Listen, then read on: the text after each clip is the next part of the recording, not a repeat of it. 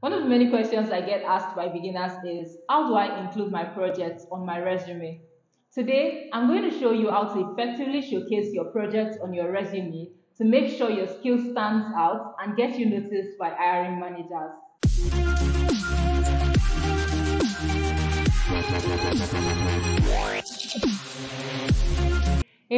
Everyone, welcome back to my channel. I'm Tina Okonkwo, a data analyst, and in this channel, I talk to you about everything data analytics related to help beginners transition seamlessly into this field. And today, we're going to be talking about a question I get asked all the time, which is how do you showcase your projects on your resume? Now, whether you're an entry level data analyst or a professional, highlighting your projects the right way makes the difference in landing your next job. Let's explore the step-by-step process in actually doing this. First, let's talk about why it's important to include projects on your resume. Your projects are a tangible proof of your skills. They show employers not just what you know, but how you apply them to real world scenarios. Now, whether you've worked on personal projects, coursework, or even actual clients, these experiences demonstrate your ability to actually solve problems, work with data, and deliver results. Now, where should you put projects on your resume? There are actually a few options on depending on how central they are to your experience.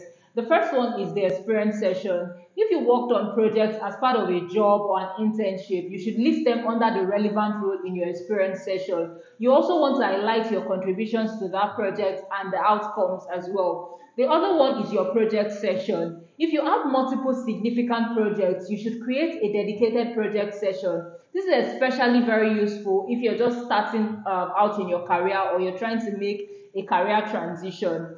Lastly, the education session. For academic projects, you can list them under your education session, especially if they are relevant to the role you're applying for. The key is to have a session where your projects can be highlighted and easily noticed by recruiters. Now let's talk about how to describe your projects effectively. You want to use clear, concise language that highlights your skills, the tools you used, and the impact of your work. Here's a simple structure to follow. Start with a project title. Next, list the skills, the tools, and the languages that you used in that project, e.g., Python, SQL, Power BI, and so on. Another thing is state the objective. Briefly describe the problem that you were trying to solve or that you were addressing. What was your role in addressing that problem? Highlight your specific contributions. What exactly did you do? Lastly, you want to state the outcome of that project. Quantify the results if possible. Let me show you an example. Here's a supplier quality report project that I built and here's how I would include it in my resume.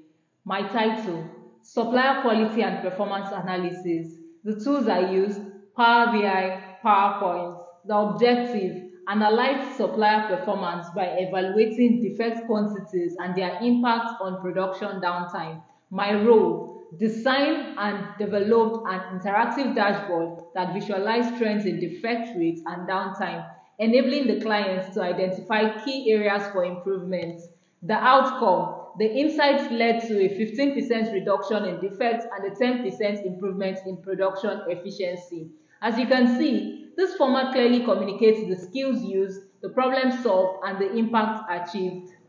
Another thing you should keep at the back of your mind is that it is important to tailor the projects you highlight based on the job you are applying for. For example, if the role emphasizing on data visualization, you might want to feature projects that showcases your experience with tools like Power BI or Tableau. Don't forget, your resume isn't only the place to showcase your work. You can also include links to your portfolio, GitHub or LinkedIn profile where hiring manager can explore your projects in details. In my next video, I'll discuss some of the best platforms you should use to host your portfolio.